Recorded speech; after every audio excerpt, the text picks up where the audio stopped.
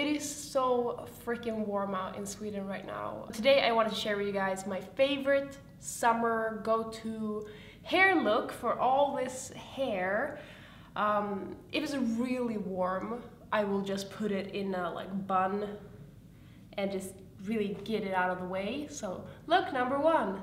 But the, the look I'm doing today is a little bit more effort and it's also really pretty. I did this look a while back and took a picture of it and posted it on Instagram just as always, nothing fancy.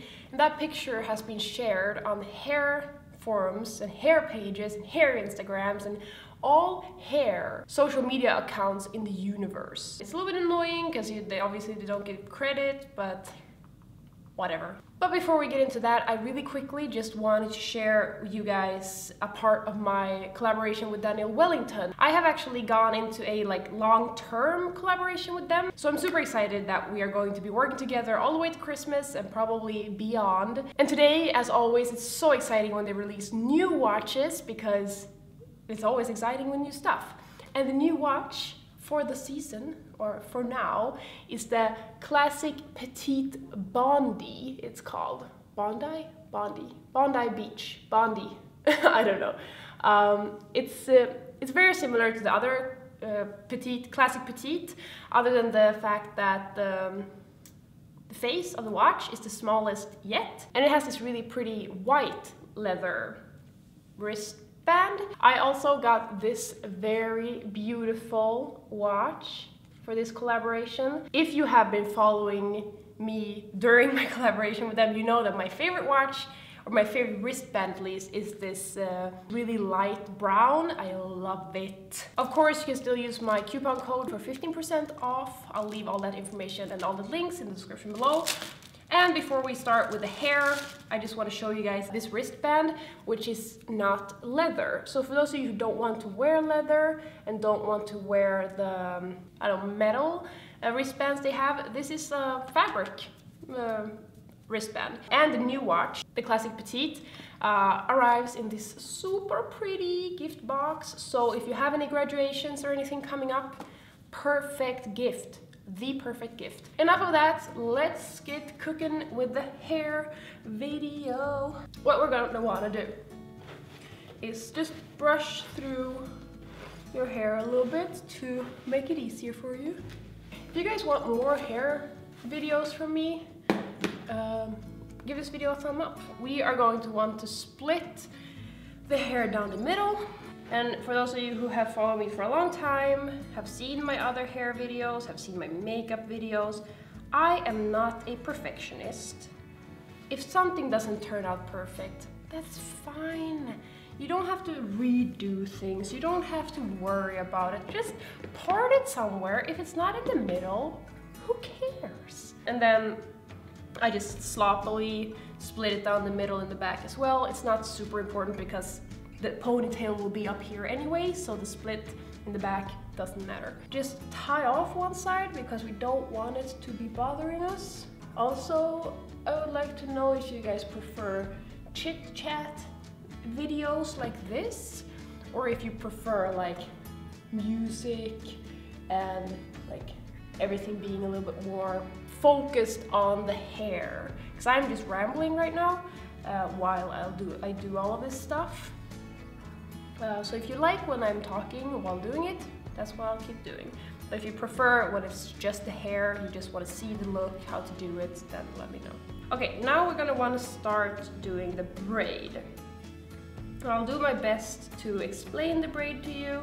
It's just, I mean, you can do this with a Dutch or a French braid. Both work perfectly fine. I think we're gonna do Dutch because that's the easiest for me for some reason. Um, and I know a lot of people say like, oh, I wish I could braid, I wish I could do this, I wish I could do that, but I can't. I couldn't either. I just did it. I have never been good at braiding. I have never been good at anything that has to do with hair. I just did it. I tried. And when you try, you're gonna be surprised at how well it turns out, even though you don't know how to do it. And every time you do it, you get better. So don't just sit there and be like, oh, I wish I could do that. Just take your hair out, brush it through, and follow along in this tutorial because you can do it. So grab a little section in the front. Here you can see how much of a section I start with. Again, does not matter how much you start with, just grab some hair and get going. Uh, we're going to divide it into three parts. Your fingers will learn how to work this braid the more you do it. So, what we're gonna start doing is grab one side. I'm gonna grab the side closest to my ear and put it under the middle strand. Under, done. Now, we grab the other side and put it under the middle strand again. Now it looks like this. Now, grab the side here. Again, your fingers will learn how to do this eventually. All you want to do is have this side and then you want to add hair to this side.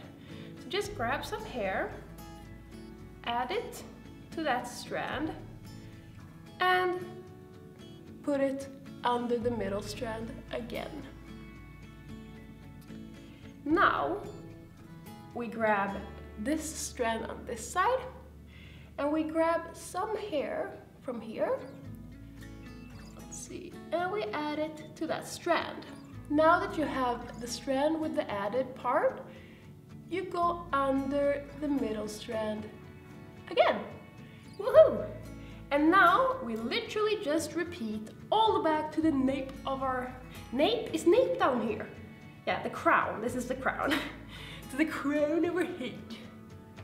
To avoid any kind of bumps and like ugly parts that look like this, I really try, I don't always succeed, but I really try to first add it to the, to the strand it goes to, and then really try to like brush it out so it lies nicely in that direction. Because as you might know, hair naturally lies downwards.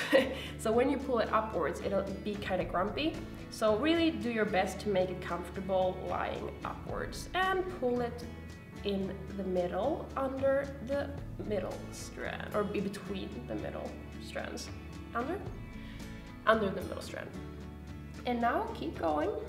Take some hair here add to it.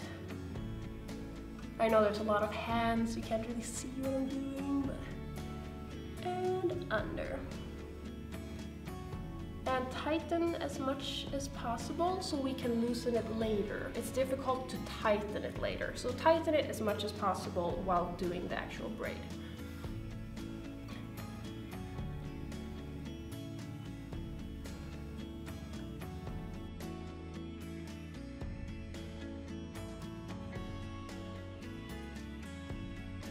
This is turning out terrible, but that happens sometimes. That's okay. When, when I do it, I just do it. I don't talk my way through it. So now when I'm trying to show you guys, I'm probably making a bunch of mistakes that I normally wouldn't make.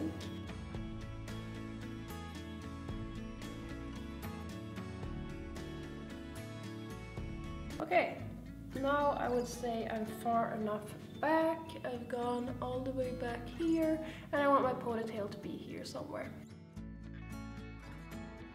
And I mean, it doesn't look very nice when you've tied it off, but we're gonna stretch it out later. We're gonna do the same thing on the other side.